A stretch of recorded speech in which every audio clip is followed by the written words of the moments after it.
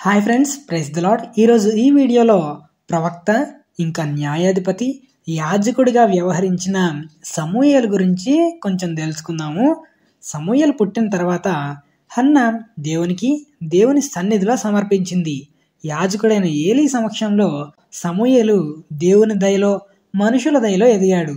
సమూయలు ఏలీ కుమారులను అనుసరించలేదు. ఏలీని అనుసరించి దేవుని సన్నిధిలో పరిచర్య చేస్తూ ఉండేవాడు. సమూయేలు పెరిగి యవ్వన కాలానికి వచ్చాడు దేవుని ప్రవక్తగా స్థిరపడ్డాడని దాను మొదలుకొని బెయర్షబా వరకు ఇస్రాయేలీలు తెలుసుకున్నారు. ఇస్రాయేలీలు ఫిలిస్తీన్లతో యుద్ధం చేయగా ఫిలిస్తీన్లు మందసాన్ని ఎత్తుకొని వెళ్తారు. ఆ యుద్ధంలో ఏలీ కుమారులు చనిపోతారు. ఈ విషయం తెలిసిన తర్వాత ఏలీ కూడా మరణిస్తాడు.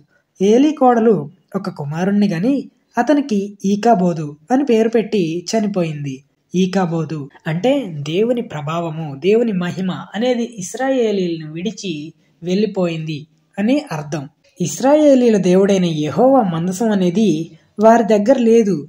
దేవుని కృప వారిని విడిచెను. అయితే సమూయేలు ఇస్రాయేలీలను మిస్పాకు పిలిపించాడు. వారు యహోవ సన్నిధిలో నీళ్ళు చేతగా వారు ఉపవాసం ఉండి వారి పాపాలను ఒప్పుకున్నారు. ఫిలిస్తీన్ సర్దారులు ఇస్రాయేలీలు మిస్పాలో ఉన్నారన్న సంగతి విని వారి మీదకి వచ్చారు. ఇస్రాయేలీలు ఫిలిస్తీన్లకు భయపడి సమూహలకి దేవునికి ప్రార్థించమని మనవి చేయగా ఫిలిస్తీన్ల చేతిలో నుండి రక్షించమని ఒక గొర్రె పిల్లను దహన బలిగా అర్పించాడు. ఇస్రాయేలీల పక్షాన ప్రార్థన చేయగా దేవుడు సమూహలు ప్రార్థన ఆలకించాడు. ఫిలిస్తీన్లు ఇస్రాయేలీల మీదకి వచ్చినప్పుడు ఫిలిస్తీన్లు ఓడిపోయారు.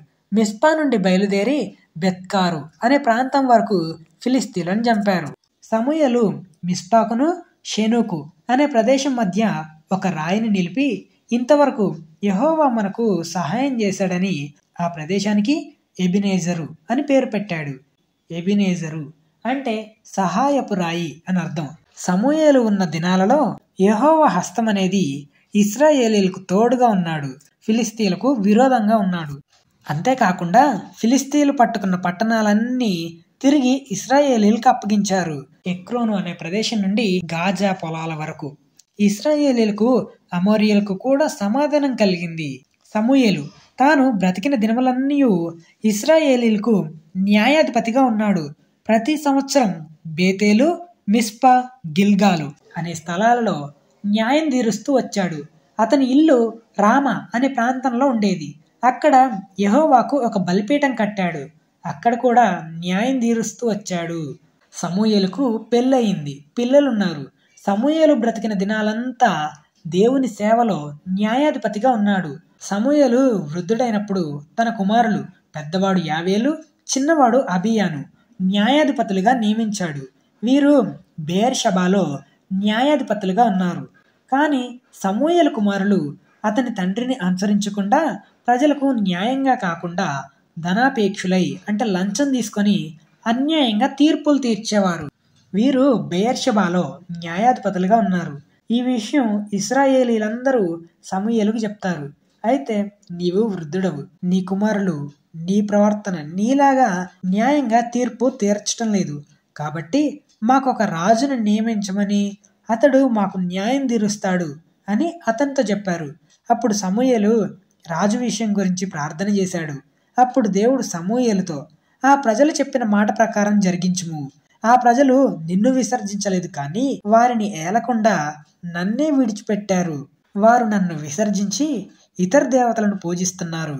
నేను ఐగుప్తులో నుండి రప్పించిన నాటి నుండి నేటి వరకు వారు చేస్తూ వచ్చిన కార్యాల ప్రకారంగా వారి మాటలను అంగీకరించుము. అయితే వారు ఏలబోయే రాజు ఎలాంటి వాడు కావాలో నీవే సాక్షివై వారికి దృఢంగా తెలియజేయమని సెలవిస్తాడు. అప్పుడు సమూయేలు రాజు కావాలని అడిగిన ప్రజలందరితో యహోవా మాటలు వినిపించాడు. సమూయలు ఎంత వివరంగా చెప్పాడంటే మిమ్మల్ని ఏలే రాజు ఎలా ఉండాలి? రాజు కింద బానిసలలా ఉండి అతనికి పన్ను కడుతూ ఉండాలి అని చెప్పాడు. అయినా ప్రజలు మాకు రాజు కావాలి అని అంటారు. ఆ దినమున మీరు దాసులైన తర్వాత మీరు కోరుకున్న రాజును బట్టి మీరు యహోవాకి ప్రార్థింపగా మీ ప్రార్థన వినడు అని అంటారు. దేవుని మాట ద్వారా సమూయేలు బెన్యామీను గోత్రంలో కీషు కుమారుడైన సౌలుతో తైలంతో అభిషేకించాడు. తర్వాత ఇస్రాయేలీల ప్రజలకు రాజుగా సౌలును దేవుడు నియమించాడు.